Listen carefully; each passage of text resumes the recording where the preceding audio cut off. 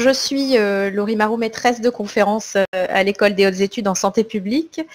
Euh, sciences de gestion initialement, ma discipline de spécialité d'origine c'est la santé numérique. J'ai réalisé ma thèse à, à Télécom Paris Tech, à l'époque ça s'appelait encore comme ça.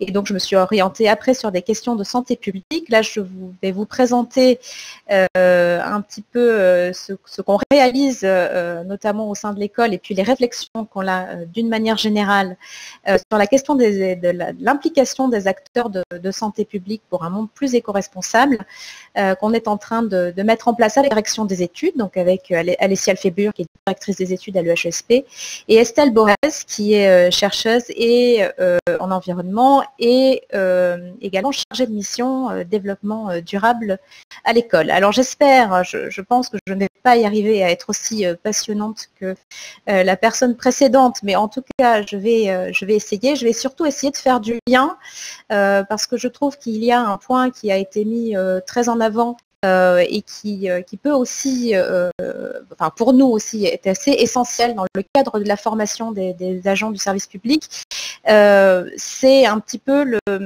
faire le point sur la, méthodologie scientifique, certes, mais aussi surtout sur les constats scientifiques en ce qui concerne les enjeux environnementaux et climatiques.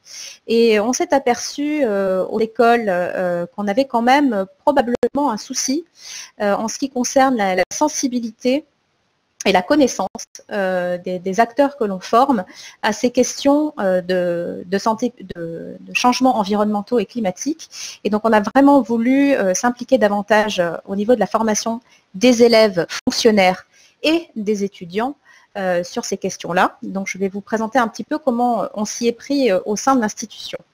Donc pour ceux qui ne connaissent pas euh, forcément très très bien le HESP, nous avons pour mission principale d'assurer la formation des personnes ayant à exercer des fonctions de direction, notamment directeur d'hôpital, financier et autres, de gestion, d'inspection et ou de contrôle dans les domaines sanitaires, sociaux et médico-sociaux.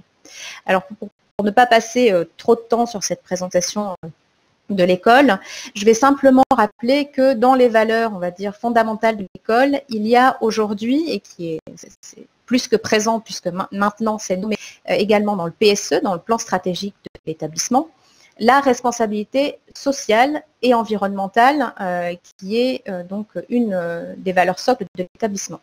Alors, c'est évidemment indispensable que ces valeurs soient étiquetées en tant que valeurs, en tant que valeurs d'établissement et en tant que valeurs institutionnelles, mais euh, seules, euh, comme, le disait Anna Arendt, euh, les, idées, elles ont la durée de l'instant, et si on ne les met pas en œuvre, si on ne les produit pas, finalement, si on n'en fait pas quelque chose, elles s'évaporent assez rapidement.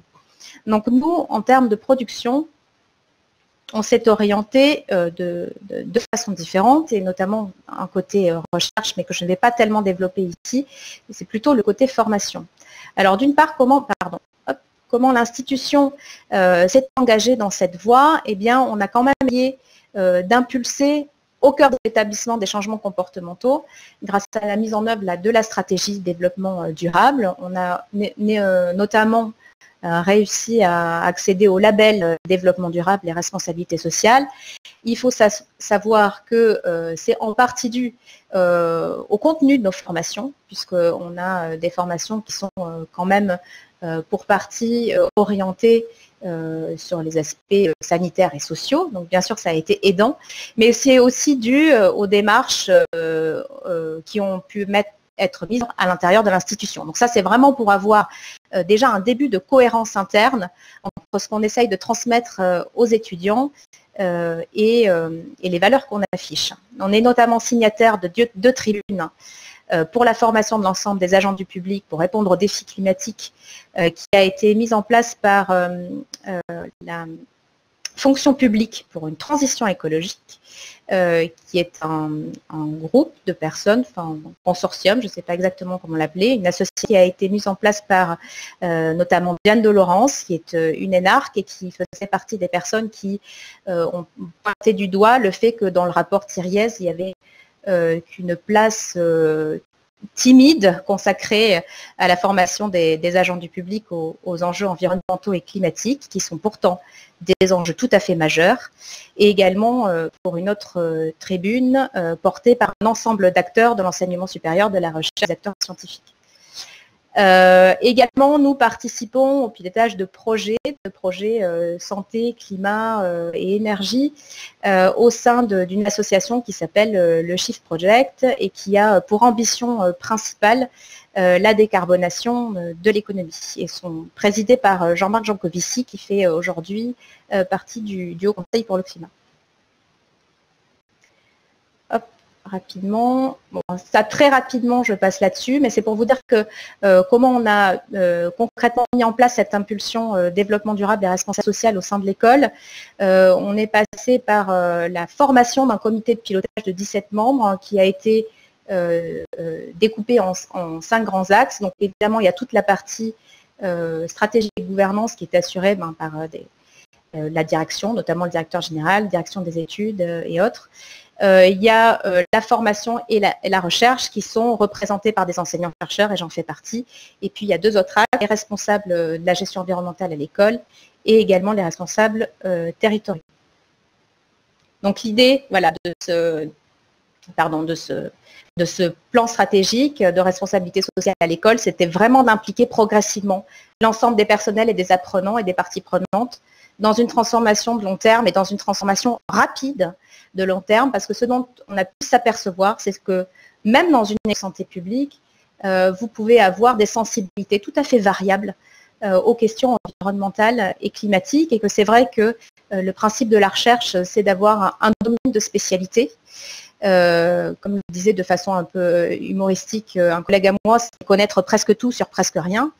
Et du coup, on n'a pas forcément cette vision globale. Voilà, quand on n'est pas dans les sciences du par exemple, eh bien, c'est assez difficile de se représenter réellement euh, la magnitude des enjeux euh, qui sont associés euh, notamment aux, événements climatiques. du coup, en ce qui concerne les, agents que nous, on forme, il y, a, une véritable contrainte à laquelle, double contrainte à laquelle on va devoir faire face les établissements de santé. Alors, assez évidente et ce que peuvent voir rapidement les épidémiologistes, les médecins, les soignants et autres, euh, c'est qu'on va certainement se retrouver plus vulnérable euh, face à des événements climatiques qui vont être plus extrêmes, face à des migrations climatiques qui vont être massives. On parle de, 200 millions de déplacés d'ici à 30 ans, face à des nouvelles euh, pathologies par transmission vectorielle, mais aussi un accroissement des pathologies chroniques avec le changement climatique. Euh, en accroissement euh, de certaines pathologies euh, de type allergique, parce que vous avez une division du pollen, etc. Un accroissement aussi des pathologies psychiatriques parce que vous avez des effets rebonds à, ces, événements extrêmes. Et puis vous avez tout ce qui est, ça c'est lié bien sûr aux migrations, mais tous les effets secondaires qui sont dus aux problèmes d'approvisionnement alimentaire, aux problèmes en eau, etc.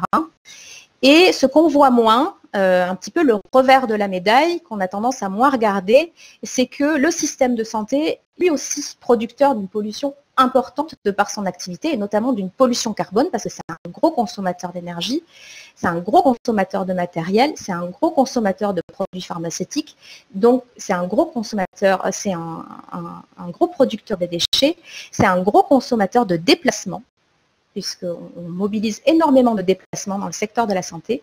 Et donc, on est euh, autour euh, quand même d'une empreinte carbone qui se situe à peu près à 5% euh, des empreintes nationales uniquement pour le secteur de la santé.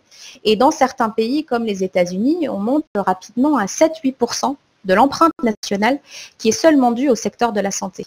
Donc en fait, on a, un véritable sujet euh, avec le système de santé, les enjeux climatiques. Et c'est peut-être quelque chose qui est un peu invisible aujourd'hui et, et, notamment trop invisible euh, pour les acteurs de santé qui vont être euh, dans des positions de, de, gestionnaires et de décisionnaires dans, ce, dans ce même système de santé. Donc l'objectif qu'on a, c'est de suivre hein, déjà des politiques publiques qui sont affichées en essayant de faire des, systèmes de santé soutenables et résilients, et c'est vraiment d'avoir une, connaissance sur des causes et des, conséquences des modifications de l'environnement sur les systèmes de soins, mais pas uniquement, mais enfin, si on prend la santé au, sens large évidemment, l'environnement est parmi des, déterminants majeurs de la santé. Et donc d'avoir des, apprenants, des professionnels qui font le lien entre les enjeux environnementaux et climatiques et leur futur emploi et la façon avec laquelle ils vont pouvoir agir au quotidien, dans leurs activités du quotidien, en devant, par exemple, euh, ben, analyser une situation, euh, faire des choix, arbitrer euh, au, prisme de ces enjeux-là qui sont peut-être relativement invisibles aujourd'hui.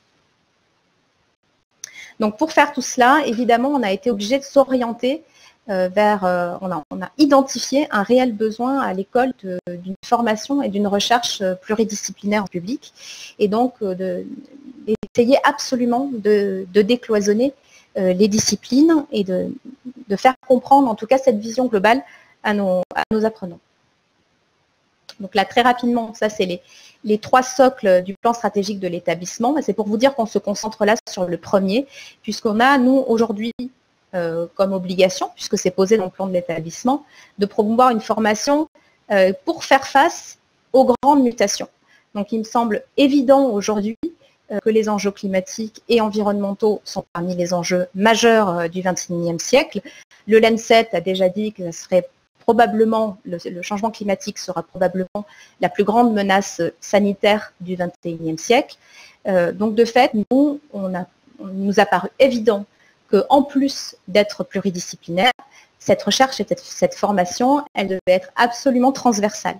Donc on ne fait pas le tri, on passe par l'ensemble de nos attentes il faut que l'ensemble des formations de fonction publique, donc là je parle euh, des directeurs d'établissements sanitaires ou médico-sociaux, des inspecteurs sanitaires, des attachés, euh, des médecins de santé publique, des pharmaciens de santé publique, etc. L'ensemble des étudiantes et des étudiants de master ou de master spécialisés, l'ensemble des doctorantes et des doctorants de l'école et accès à cette formation et à ces connaissances-là. Donc de fait, euh, on s'oriente vers ce type de formation, comment en s'appuyant sur les compétences transdisciplinaires de l'école. Alors là, j'ai mis en avant le fait que la responsabilité sociale était une question émergente qui influencera le, système de santé et de soins à l'avenir. Bien, entendu, ce n'est pas une question émergente dans l'absolu. Hein. la crise climatique euh, est quelque chose que l'on connaît et que l'on a identifié scientifiquement depuis euh, plus de 40 ans peut-être. Euh, et euh, donc, ce n'est pas une question qui est émergente dans l'absolu. Mais à l'intérieur des systèmes de santé et à l'intérieur des établissements, euh, les aspects de développement durable, les, aspects de responsabilité, enfin plutôt liés au développement durable et, éco-responsable, ne sont pas forcément les aspects qui sont pris en compte de façon prioritaire parce que l'établissement a son, propre rythme, ses priorités, ses urgences, ces nécessités d'action à court terme, comme on a, pu le voir pendant la crise sanitaire. Mais nous sommes aussi convaincus que c'est dû au fait qu'il y a un manque de formation des individus acteurs euh, présents dans les, établissements et que euh, nombreux sont ceux qui manquent d'ordre de grandeur simple, comme par exemple se rendre compte du fait qu'une différence de température de 5 degrés eh bien, c'est la différence de température qu'il y a entre l'ère glaciaire et le début du XXe siècle. Euh, donc en fait, euh, euh, c'est ce qui fait que nous pouvions passer à l'époque la Manche à pied, donc avec un niveau mers qui était plus bas de, 125 mètres, 3 km de glace au-dessus de l'Amérique du Nord, au-dessus de l'Europe du Nord, etc. Donc on est vraiment, aujourd'hui, on, manque de repères essentiels sur ce qu'implique ce type de changement et sur la dimension euh, totalement systémique et globale de, ce type d'impact. Donc du coup, pour les apprenants, ce qui est important pour nous, c'est qu'ils comprennent les défis de santé publique qui sont posés par ces, enjeux environnementaux-climatiques et leur magnitude et leur ampleur, vraiment, mesurer l'impact du coup de leurs décisions managériales au regard de cela et forger une culture commune à tous les professionnels parce que sans cela, on pense que vraiment, il sera compliqué d'avancer, on ne pourra pas avoir une action coordonnée euh, sur un territoire donné. À partir du moment où vous avez ne serait-ce que quelques sceptiques à l'intérieur de vos instituts, de vos institutions ou de, votre territoire, il est vraiment très très très compliqué euh, d'agir conjointement sur ce type de questions parce que ce sont souvent des problématiques euh, qui demandent de réviser des modèles, qui demandent de voir les choses différemment, qui demandent parfois une certaine forme d'arbitrage. Et donc, c'est absolument pas quelque chose de spontané et d'évident. Et il faut avoir une vision et une culture commune pour pouvoir avancer ensemble dans la même direction. Euh, de fait, c'est ce qu'on essaye de faire nous. Donc, nous avons nommé la formation là, qui va commencer euh, en septembre 2020 à l'école euh, Chance pour changement climatique, transition et santé. Donc, c'est former tous les apprenants à cette vision systémique en intégrant bien sûr une prise de responsabilité tout en conservant une vision éthique. Hein. L'idée, ce n'est pas de, décider que les enjeux environnementaux passent absolument devant toutes les autres dimensions. C'est pas ça. C'est réussir justement à être de plus en plus éthique en prenant ces mêmes enjeux. Parce que finalement, on sait aujourd'hui euh, les conséquences de la non prise en compte des enjeux environnementaux.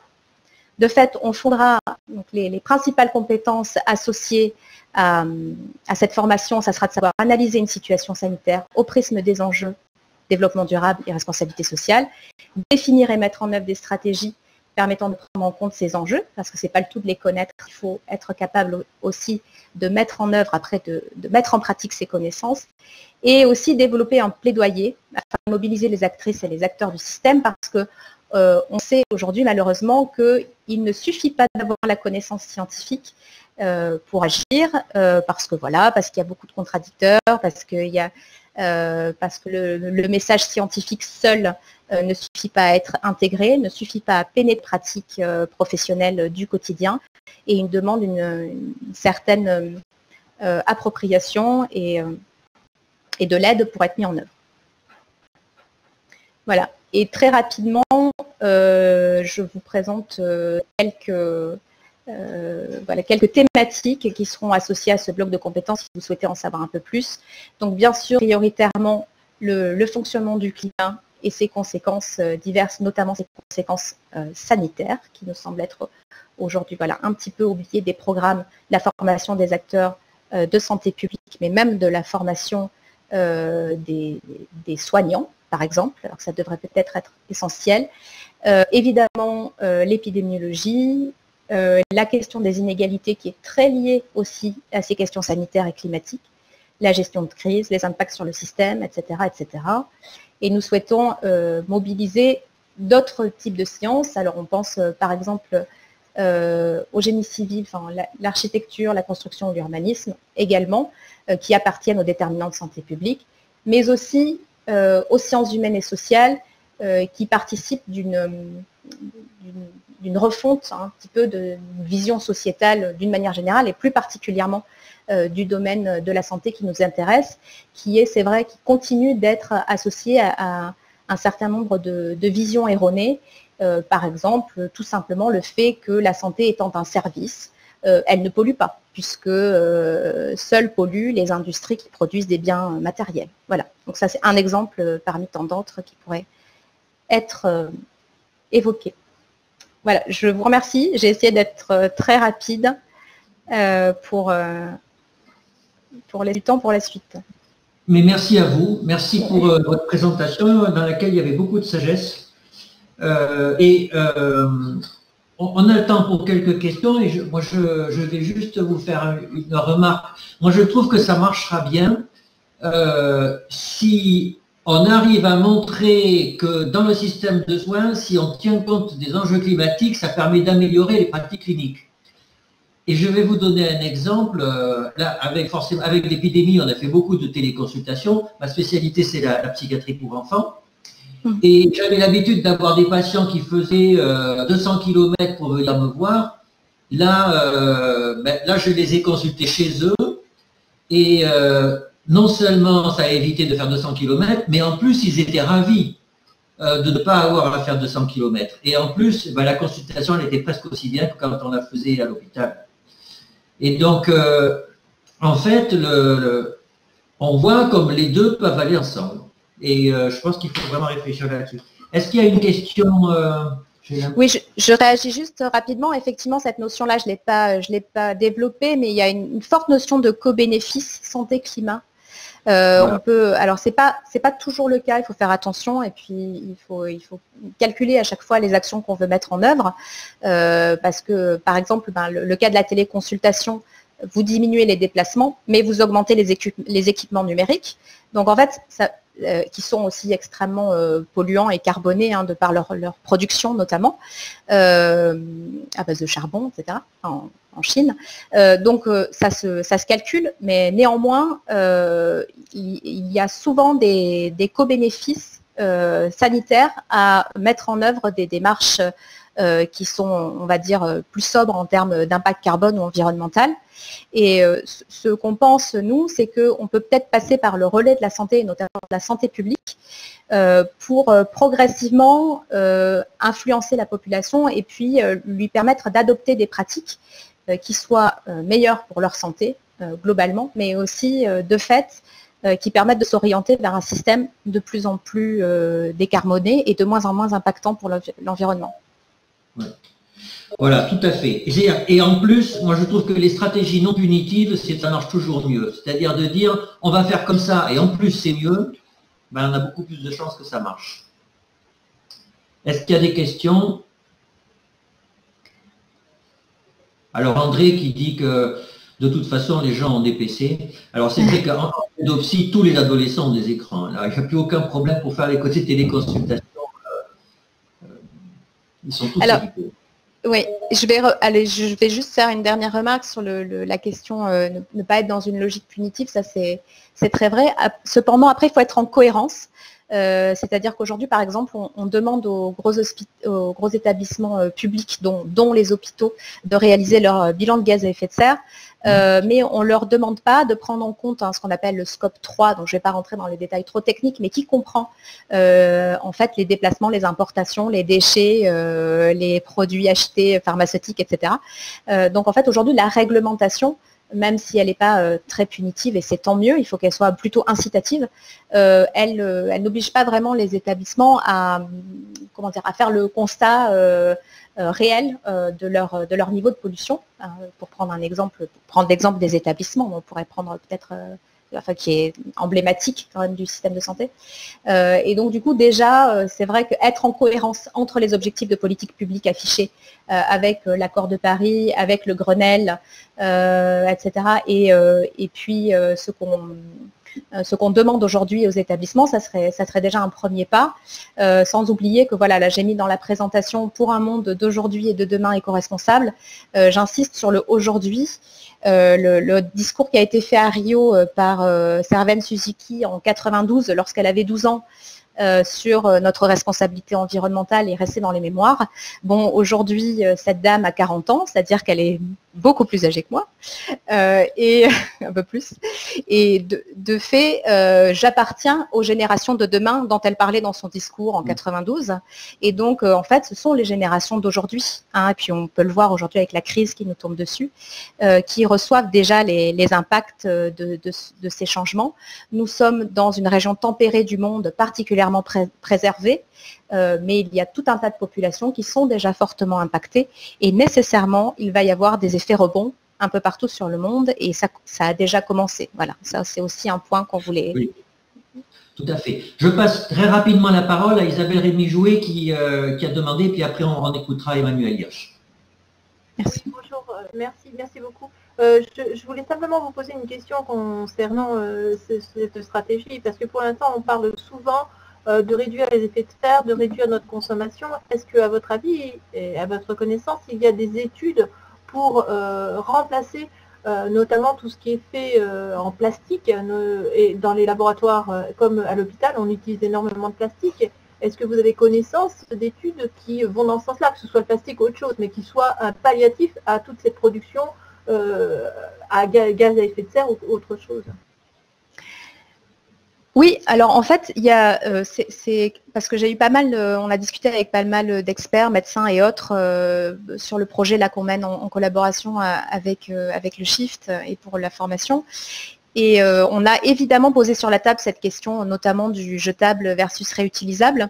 Et alors c'est assez amusant parce que, au-delà du coût, hein, parce qu'en fait le, jetable c'est de la sous-traitance à bas coût, quelque part, parce qu'on n'a plus forcément la nécessité de stériliser sur place, et donc même s'il y a toujours des éléments qui seront stérilisés sur place. et donc de fait, on a, on a sous-traité en Chine voilà, des, produits qui sont à usage unique. Mais par ailleurs, il y a une autre question qui, pour certaines personnes, est, arrivée finalement comme une question prioritaire, qui est celle de la responsabilité liée à la possibilité d'avoir une, enfin, un, problème euh, bactérien ou autre euh, sur un matériel réutilisable versus un matériel jetable. Euh, et donc, en fait, on s'est rendu compte qu'il faudrait peut-être, au-delà de discuter la possibilité technique de remplacer le jetable par du réutilisable, certainement, en fait, techniquement tout à fait faisable, puisque c'est ce qu'on faisait quand on avait moins de moyens énergétiques. Euh, peut-être aussi faut-il discuter euh, les aspects euh, organisationnels, législatifs. En fait, voilà, on a, remis un système en place qui a plein d'implications, qui est tentaculaire, là, qui, a plein d'implications un peu partout. Et de fait, si on n'arrive pas à régler tous les sujets que ça pose, tous les questionnements que ça pose, c'est difficile d'avancer. Donc techniquement, il n'y a pas de il n'y a pas vraiment de barrière technique au fait de revenir euh, sur des logiques de blanchisserie et de, local de stérilisation. C'est plutôt des, barrières, me semble-t-il, en première euh, approximation, mais je n'ai pas, encore étudié le sujet, euh, sur ce sujet-là, je ne suis pas encore allée très loin, j'ai plutôt fait la, mobilité et l'isolation des bâtiments. Et sur ce sujet-là, en tout cas, il nous semble que, ce n'est pas le point technique qui est le plus difficile à résoudre.